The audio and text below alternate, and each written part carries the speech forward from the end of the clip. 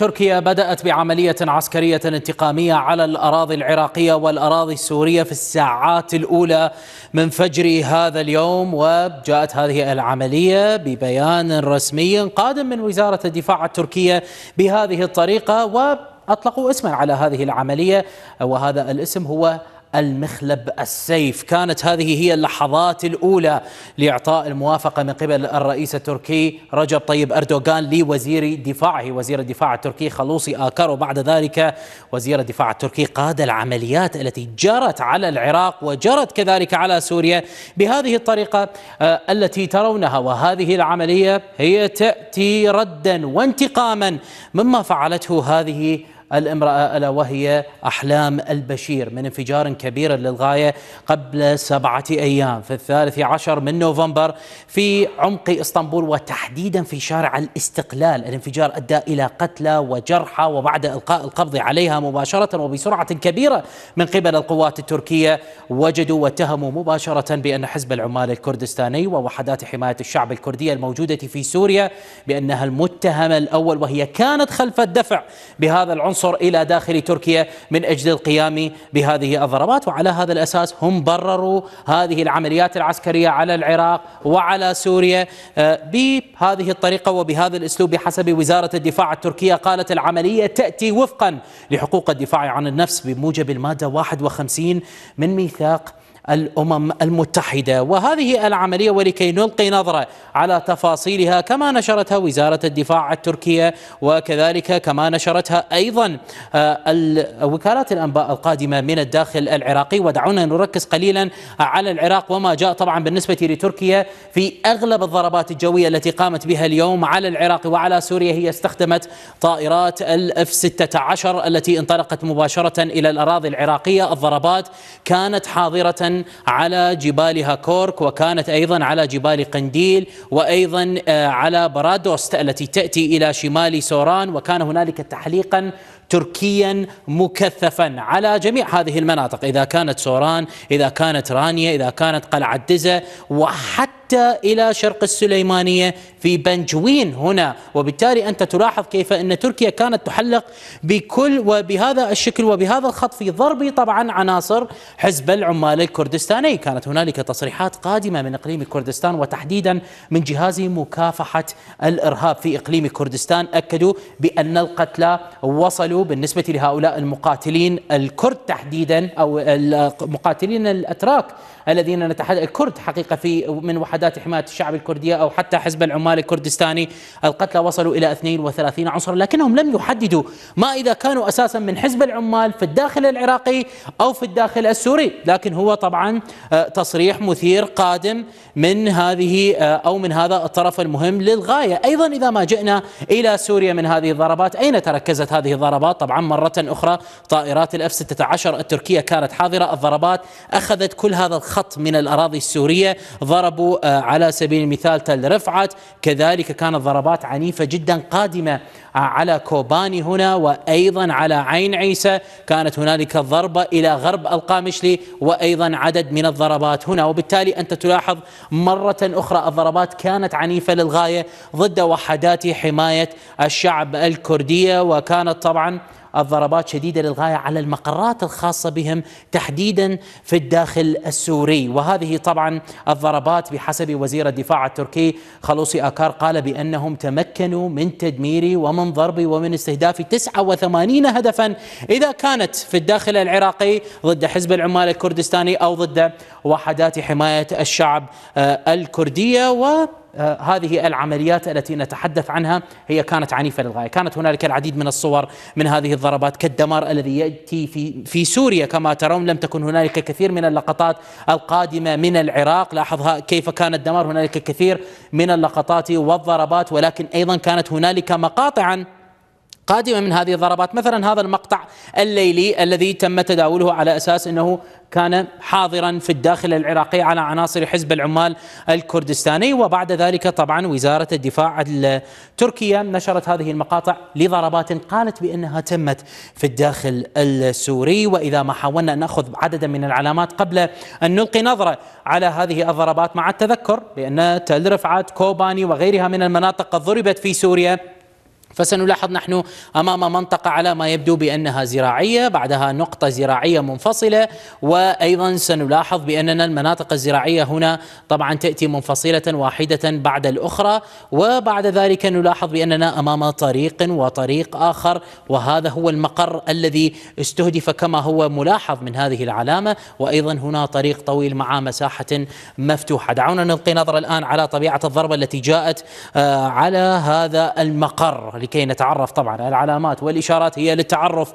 على هذه النقطة وأين ضربت بالضبط؟ لاحظ الضربات العنيفة. أيضا لقطة أخرى هنا كانت ضربة كبيرة واضحة على إحدى المباني. الآن دعونا نتجه إلى هذه اللقطة من اللقطة الأخيرة من اللقطة التي شاهدناها الآن. سنلاحظ بأننا أمام آه، مثل الخزانات الموجودة هنا. وهنا كما نلاحظ الإشارة تأتي على إحدى المباني وهنالك آه، مبانيا واضحة وهنالك أيضا إشارة واضحة للتخطيط الخاص بهذا المبنى. إذا دعونا الآن نتوجه إلى القمر الصيني. الصناعي إلى سوريا لكي نرى طبيعة هذه الضربات ولكي نفهم أيضا ما هي النقاط التي ضربت في الداخل العراقي. سنلاحظ إذا هنا نحن نقترب من حلب إلى شمال حلب تأتي تل رفعت التي تحدثنا عنها وتعرضت إلى هذه الضربات. إلى شمال تل رفعت هنالك نقطة ومقر. لنقترب من هذا المقر. هنالك عدد من المقرات. ولكن هذا المقر بالالتفاف قليلا إلى اليمين الآن.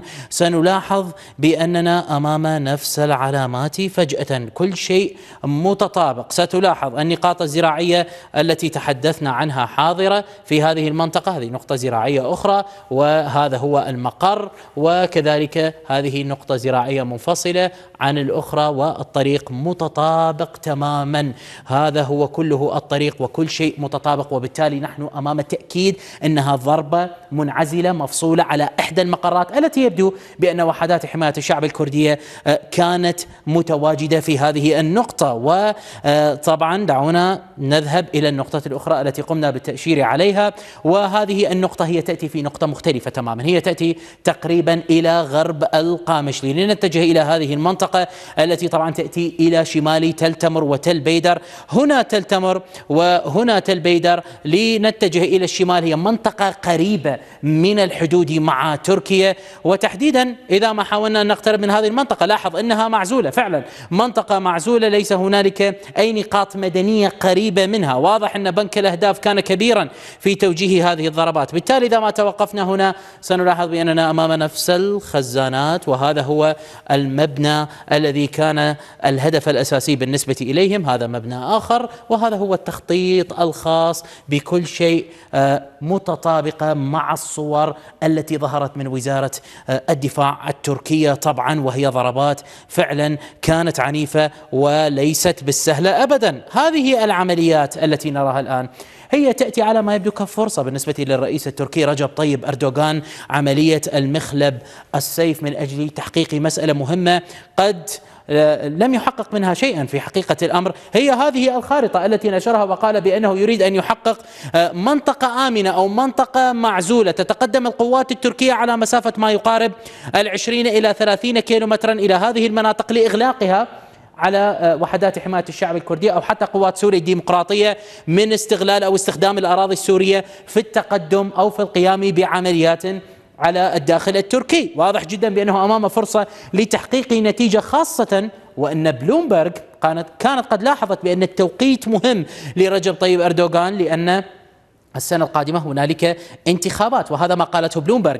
قد يعزز الهجوم الدعم المحلي ضعيف للرئيس التركي رجب طيب أردوغان قبل انتخابات العام المقبل. الانتخابات العام المقبل الانتخابات الرئاسية التركية ستكون في يونيو من عام 2023 وبالتالي يستطيع إنهاء هذه المهمة من دون أي مشاكل. العمليات التي تأتي على الداخل العراقي من قبل تركيا على حزب العمال الكردستاني وأيضا العمليات التركية التي تأتي في سوريا هي تأتي بعد تحذيرات كانت حاضرة الجمعة الماضية من قبل القنصلية الأمريكية في أربيل التي قالت تراقب القنصلية الأمريكية العامة في أربيل. تقارير موثوقة ومفتوحة المصدر عن عمل عسكري تركي محتمل في شمال سوريا وشمال العراق في الأيام المقبلة. وفعلا لم يكذبوا خبرا في أقل من 48 ساعة. ها نحن أمام عملية عسكرية جديدة.